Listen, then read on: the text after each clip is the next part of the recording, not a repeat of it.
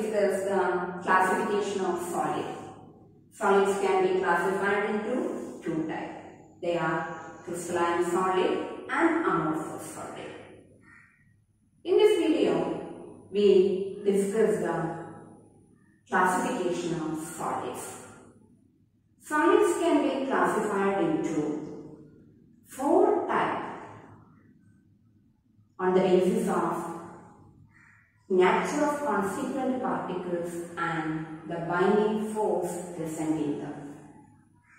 Okay, solids can be classified, crystalline solids can be classified into four types on the basis of the nature of constituent particle and the binding force present in them. They are molecular solid, ionic solid, metallic solid, and covalent solid. Okay? Then we study the first type of crystalline solid, molecular solid. Okay? We study detailed in molecular solid.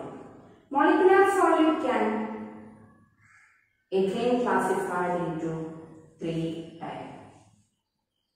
Non-polar, polar and hydrogen bond. molecular solid എന്ന് പറഞ്ഞു കഴിഞ്ഞാൽ ആദ്യം നിങ്ങൾ മനസ്സിലാക്കേണ്ടത് ഞാൻ ആദ്യമേ നിങ്ങളോട് പറഞ്ഞു ക്രിസ്റ്റലൈൻ സോളിഡിനെ നാല് ടൈപ്പാക്കി ക്ലാസിഫൈ ചെയ്തത് എന്തിന്റെ ബേസിസിലാണെന്ന് പറഞ്ഞു കഴിഞ്ഞു കോൺസ്റ്റിറ്റ്യൂന്റ് പാർട്ടിക്കിൾസ് ഏതാണെന്ന് നോക്കിയിട്ടും അത് തമ്മിലുള്ള ബൈൻഡിങ് ഫോഴ്സ് ഏതാണെന്ന് നോക്കിയിട്ടുമാണെന്ന് പറഞ്ഞു ഒന്നാമത്തെ ടൈപ്പായ മോളിക്കുലാർ സോളിഡ് എന്ന് പറഞ്ഞാൽ നിങ്ങൾ ആദ്യം നോക്കേണ്ട കാര്യം ആണ് ഓക്കെ. ഏതൊക്കെയാണ് മോളിക്കുലാർ സോളിഡ് നിങ്ങൾ കണ്ടല്ലോ. ഏതൊക്കെയാണ്? Non polar polar hydrogen bond non polar എന്ന് പറഞ്ഞു കഴിഞ്ഞിട്ടുണ്ടെങ്കിൽ ഏതാണ്? നമുക്ക് ഡീറ്റെയിൽ ആയിട്ട് നോക്കാം. നോൺ പോളാർ എന്ന് പറഞ്ഞു കഴിഞ്ഞിട്ടുണ്ടെങ്കിൽ അതിലുള്ള കോൺസ്റ്റിറ്റുവന്റ് പാർട്ടിക്കിൾ എന്ന് പറഞ്ഞാൽ നോൺ പോളാർ മോളിക്യൂൾസ് ആണ്. നോൺ പോളാർ മോളിക്കുലാർ സോളിഡിലുള്ള കോൺസ്റ്റിറ്റ്യൂവന്റ് പാർട്ടിക്കിൾസ് ഏതാണ്? നോൺ പോളാർ മോളിക്യൂൾസ് ആണ്. അത് തമ്മിലുള്ള ബൈൻഡിങ് ഫോഴ്സ് ഏതാണ്? ഡിസ്പേർഷൻ ഫോഴ്സ് ആണ്. ഓക്കെ നോൺ പോളാർ മോളിക്യൂൾസ് തമ്മിലുള്ള ബൈൻഡിങ് ഫോഴ്സ് ഡിസ്പേർഷൻ ഫോഴ്സ് ആണ്. എക്സാമ്പിൾ ആണ്. H two I two CO two ഇതൊക്കെ ഇതിന് എക്സാമ്പിൾ ആണ്? നോൺ പോളാർ മോളിക്യൂൾസിന് എക്സാമ്പിൾ ആണ്. ദി സോഫ്റ്റ് അതുപോലെ തന്നെ ഇൻസുലേറ്റർ ആണ്. ദ ഇൻസുലേറ്റർ നിങ്ങൾക്ക് അറിയാവുന്ന കാര്യമാണ്. ഇൻസുലേറ്റർ എന്താണ്? കറണ്ടിനെ കടത്തിവിടില്ല. ഓക്കെ മെൽറ്റിംഗ് പോയിന്റ് സോഫ്റ്റ് ആയ കാരണം തന്നെ അതിന്റെ melting point very melting point ആണ്. ഓക്കെ രണ്ടാമത്തെ ടൈപ്പ് ഇത് രണ്ടാമത്തത്? Polar molecular solid polar molecular solid എന്ന് പറഞ്ഞിട്ടുണ്ടെങ്കിൽ അതിലുള്ള കോൺസ്റ്റിറ്റുവന്റ് പാർട്ടിക്കിൾ മോളിക്യൂൾസ് ആണ് molecules. Molecules okay polar molecules തമ്മിലുള്ള ബൈൻഡിങ് ഫോഴ്സ് എന്ന് പറയുന്നത് നിങ്ങൾ ഫസ്റ്റ് ഇയർ പഠിച്ചു കഴിഞ്ഞതാണ് പോളാർ മോളിക്യൂൾസ് തമ്മിലുള്ള ബൈൻഡിങ് ഫോഴ്സ് നിങ്ങൾക്കറിയാം ഡൈപോൾ ഡൈപോൾ ഇന്ററാക്ഷൻ ഓക്കെ അതിന് എക്സാമ്പിൾ ആണ് H C L S O two ഇതിനൊക്കെ എക്സാമ്പിൾ ആണ്?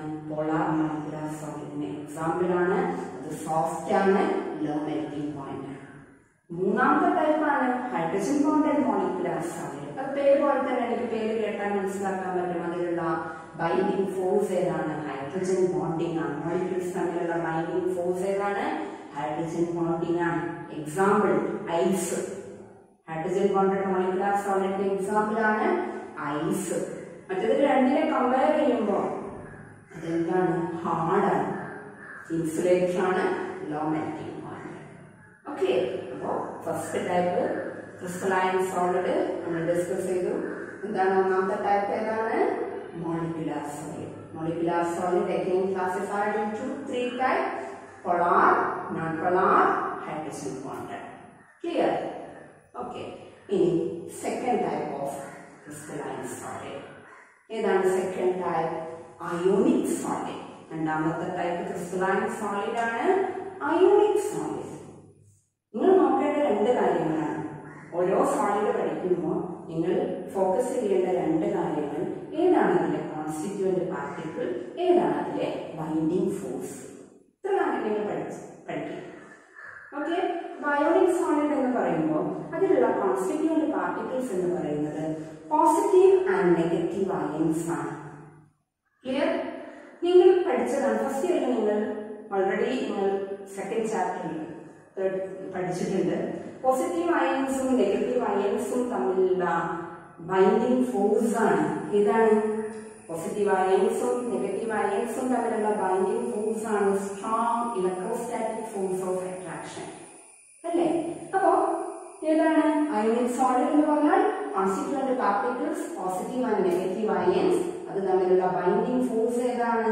Strong electrostatic force of attraction okay അതുകൊണ്ട് തന്നെ സ്ട്രോങ് ഫോഴ്സ് ആയ കാരണത്താലല്ലേ തന്നെ അത് എന്താണ് ഹാർഡാണ് okay example N A C L N A C L is an example for I M X file അതിന്റെ പ്രത്യേകത എന്ന് പറയുന്നത് ഇത് ഇൻസുലേറ്റേഴ്സ് ആണ്.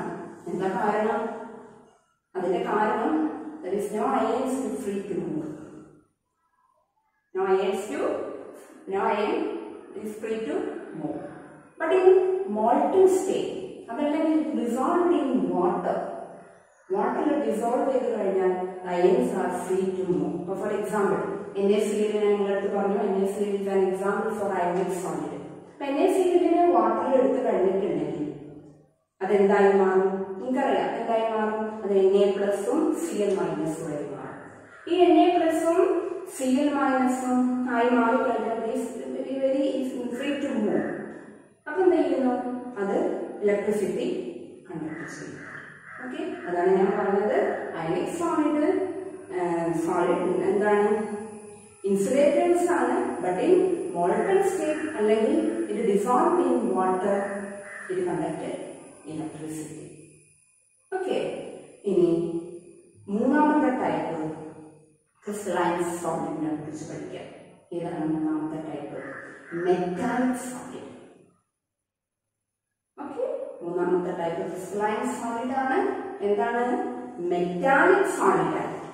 ഓക്കെ മെറ്റാലിക് സോളിഡ് എന്ന് പറഞ്ഞിട്ടുണ്ടെങ്കിൽ positive അയൻസും and mobile free electrons positive ions and mobile free electrons are spread throughout the crystal metallic solid എന്ന് പറഞ്ഞാൽ അവിടെയുള്ള കോൺസ്റ്റിറ്റ്യൂവന്റ് പാർട്ടിക്കിൾ എന്താണ്? Positive ions and mobile free electrons are spread throughout the crystal ഏതാണ് തമ്മിലുള്ള bond ഏതാണ്? Metallic bond ഓർക്കാൻ എളുപ്പമാണ് നിങ്ങൾക്ക് പേര് വെച്ച് കൊടുത്താൽ മതി. മെറ്റാലിക് സോളിഡ് എന്ന് പറഞ്ഞു കഴിഞ്ഞാൽ അതിനുള്ള ബോണ്ട് ഏതാണ്? മെറ്റാലിക് ബോണ്ടാണ് കോൺസ്റ്റിറ്റ്യൂവന്റ് particles ഏതാണ് positive ions and mobile electron നിങ്ങൾക്കറിയാം മൊബൈൽ ഇലക്ട്രോൺ എന്നുള്ള കാര്യം തന്നെ എല്ലാ മെറ്റൽസും all metal and alloys are example for metallic നിങ്ങൾക്കറിയാം മെറ്റൽസ് ഒക്കെ എന്ത് ചെയ്യുന്നുണ്ട് ഇലക്ട്രിസിറ്റി കണ്ടക്ട് ചെയ്യുന്നു എന്താ കാരണം അവിടെ ഇലക്ട്രോൺ എന്ത് ചെയ്യുന്നത് ഫ്രീ ആയിട്ട് മൂവ് ചെയ്യുന്നുണ്ട് ഓക്കെ ഇത്രയാണ് ഏതിന്റെ പ്രോപ്പർട്ടീസ് മെറ്റാലിക് സോളിഡ് അപ്പൊ metallic solid are good conductors of heat and electricity because there is a free electron clear നാലാമത്തെ ടൈപ്പ് ക്രിസ്റ്റലൈൻ സോളിഡ് ആണ്. Last type covalent or network solid clear രണ്ട് കാര്യങ്ങളാണ് നോക്കേണ്ടത്. ഏതൊക്കെയാണ്? കോൺസ്റ്റിറ്റ്യൂന്റ് പാർട്ടിക്കിൾസും അത് തമ്മിലുള്ള ബൈൻഡിങ് ഫോഴ്സ് കോവാലൻ സോളിഡ് എന്ന് പറഞ്ഞിട്ടുണ്ടെങ്കിൽ അതിലുള്ള കോൺസെപ്റ്റ് അതായത് നോൺ മെറ്റൽസ് ആൻഡ് ആറ്റംസ് അത് തമ്മിൽ എന്താണുള്ളത് കോവാലന്റ് ബോണ്ടാണ് ഞാൻ ഫസ്റ്റ് ഇയർ പഠിച്ചിട്ടുണ്ട് എന്താണ് കോവാലന്റ് ബോണ്ട് ആറ്റംസ് എന്ത് ചെയ്തിട്ടാണ്? ഇലക്ട്രോണിനെ എന്ത് ചെയ്തിട്ടാണ്? ഷെയർ ചെയ്തിട്ടാണ്. അല്ലേ? ഇലക്ട്രോണിനെ ആറ്റംസ് എന്ത് ചെയ്തിട്ടാണ്? മ്യൂച്വൽ ഷെയറിംഗ് നടത്തിയിട്ടാണ് എന്തുണ്ടാകുന്നത് കോവാലന്റ് ബോണ്ട് ഉണ്ടാകുന്നത് ഓക്കെ അതിന്റെ ഫലമായിട്ട് ഒരു നെറ്റ്വർക്ക് ഫോം ചെയ്യും ഫോം ചെയ്യും അതുകൊണ്ടാണ് ഇതിനെ പേരിലും കൂടി അറിയപ്പെടുന്നത്. കോവാലന്റ് സോളിഡ് അല്ലെങ്കിൽ എന്ത് സോളിഡ് എന്നാ പറയുന്നത്? നെറ്റ്വർക്ക് സോളിഡ് എന്ന പേരിലും അറിയപ്പെടുന്നത്. നിങ്ങൾ കണ്ടല്ലോ കോവാലന്റ് നെറ്റ്വർക്ക് സോളിഡ് അതിന്റെ കാരണം? അതെന്ത് ഫോം ചെയ്യുന്നു? ഒരു നെറ്റ്വർക്ക് ഫോം ചെയ്യുന്നു. ഒരു ജിയാൻ മോളിക്യൂൾ ഫോം ചെയ്യുന്നു. ഇതിന്റെ ബോണ്ട് എന്ന് പറയുന്നത് സ്ട്രോങ് ബോണ്ടാണ് ഇതിന്റെ ബോണ്ട് ഏതാണ് സ്ട്രോങ് ആണ് കോവാലന്റ് ബോണ്ട് എനിക്ക് എല്ലാവർക്കും അറിയാം സ്ട്രോങ് ആണ് so have very high melting point okay പിന്നെ ഇതിന്റെ പ്രോപ്പർട്ടി എന്ന് പറയുന്നത് നെക്സ്റ്റ് പ്രോപ്പർട്ടി ഇമ്പോർട്ടന്റ് പ്രോപ്പർട്ടിയാണ് എന്താ കാര്യം? Insulators okay do not conduct heat and electricity insulators ആണ്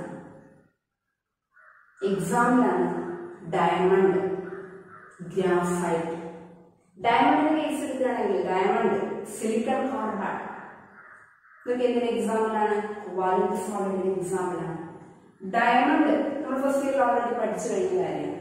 ഡയമണ്ടിന്റെ പ്രത്യേകത ഹാർഡാണ് ഇൻസുലേറ്റേഴ്സ് ആണ്. ഡയമണ്ട് ഹാർഡ് ആവാനുള്ള കാരണമൊക്കെ നമ്മൾ പഠിച്ചിട്ടുണ്ട്. ഓക്കെ അപ്പോൾ പക്ഷെ ഇവിടെ നിങ്ങൾ ഒരു ഇമ്പോർട്ടന്റ് ആയിട്ടുള്ള ഒരു പോയിന്റ് ഉണ്ട്. ഞാൻ നിങ്ങളോട് പറഞ്ഞു കഴിഞ്ഞു കൊവാലന്റ് സോളിഡിന്റെ എക്സാമ്പിളാണ് ഡയമണ്ടും ഗ്രാഫൈറ്റും കൊവാലന്റ് സോളിഡിന്റെ പ്രോപ്പർട്ടി എന്തായിരുന്നു? ഇൻസുലേറ്റേഴ്സ് പക്ഷെ ഗ്രാഫൈറ്റ് എന്ന് പറയുന്നത് graphite is a good conductor of heat and electricity graphite is a good conductor of heat and electricity ഒരു എക്സെപ്ഷണൽ പ്രോപ്പർട്ടി ഗ്രാഫൈറ്റിന്റെ കേസ് എന്താണ് അതിന്റെ കാരണം? എന്താണ് അതിന്റെ കാരണം? എന്താണ് അതിന്റെ കാരണം? അതിന്റെ കാരണമാണ് ഗ്രാഫൈറ്റിന്റെ കേസിൽ carbon atom are in different layers and each atom is covalently bonded to three of its neighboring atom in the same layer. But in the fourth valence electron of each atom is present different layers and is free to move about. And is free to move about. These free electrons make graphite is a good conductor of electricity. Graphite a good conductor of heat and electricity. പിന്നെ വേറൊരു point ഞാൻ നിങ്ങളുടെ അടുത്ത് പറഞ്ഞിരുന്നു graphite എന്താണ് soft graphite soft ആണ് എന്താണ് കാരണം ഗ്രാഫൈറ്റിന്റെ ലെയർ സ്ട്രക്ചർ ആണ് one layer is different layers can slide one over the other okay ഗ്രാഫൈറ്റിന്റെ ഒരു എക്സെപ്ഷണൽ കേസ് ആണ്. Graphite is a soft and a good conductor of heat and electricity okay അപ്പോൾ നമ്മൾ ഇത്രയും നേരം ഡിസ്കസ് ചെയ്ത കാര്യം ക്ലാസിഫിക്കേഷൻ ഓഫ് ക്രിസ്റ്റലൈൻ സോളിഡ് ആയിരുന്നു crystalline സോളിഡിനെ നാല് ടൈപ്പാക്കി ക്ലാസിഫൈ ചെയ്തിട്ടുണ്ട്. ഏതൊക്കെയായിരുന്നു molecular solid ionic solid covalent solid and metallic solid clear thank you